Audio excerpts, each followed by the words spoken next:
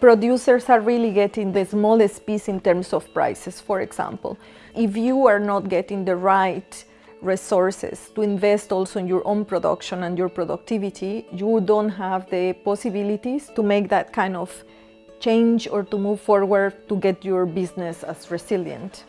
Från dag ett så är det ju inte perfekt men det driver en utveckling som är positiv. Och det är det jag tror är skillnaden mellan eh, det och icke-certifierat egentligen. Att, eh, eh, att man får liksom en, en, positiv utveckling på massa olika delar, inte bara kopplat direkt till minimipriset. During every audit we find non-conformities. This is normal and this is why Fairtrade exists. It's a, it's a development system and the certification is a certification for development. That's why non-conformity is not a bad thing.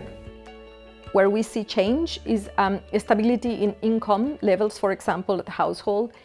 Reducing the vulnerability to price shocks is another one. And the third one is empowerment, where bulk of studies are showing evidence on, on the positive impact of fair trade in general terms.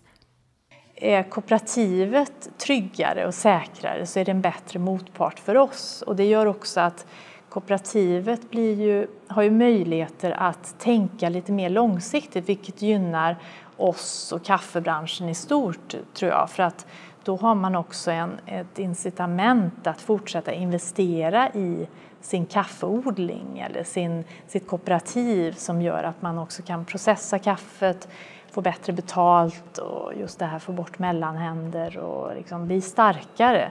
Och ju starkare de är, ju, ju bättre motpart till oss är det faktiskt. And many non-fair trade producers are benefiting here. In the case of coffee particularly, we have seen that where we have fair trade certified producers, the, the benefits of having better bargaining power position are also um, positively impacting producers that are non-certified. Det här med minimipriset och sånt som sätts, det blir ju som en försäkring skulle jag säga, en trygghet för kaffebonden att man får minst det här betalt i alla fall. Är det, ligger världsmarknadspriset över så är det klart att man får det höga priset. Eh, så här, men det, det skapar ju liksom en, en lägsta nivå och eh, den nivån är ju baserad på att det ska täcka produktionskostnaderna. Och sen lite senare då så kommer ju den här premien eh, som kooperativet själva bestämmer vad den ska användas till. Om den ska användas till infrastruktur eller någon investering för att processa kaffet eller någon sjukvård eller eh, utbildning eller det kan ju vara väldigt eh, olika saker som varje kooperativ bestämmer sig för att det här vill vi satsa på i år.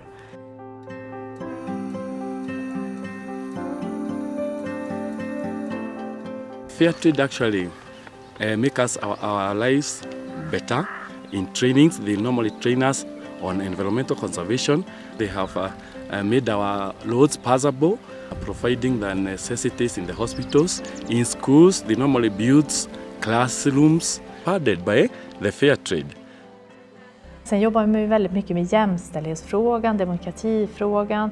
Eh, man jobbar mycket med eh, arbetsförhållanden som, som på sikt ger också mycket kring eh, levnadsstandarder och så.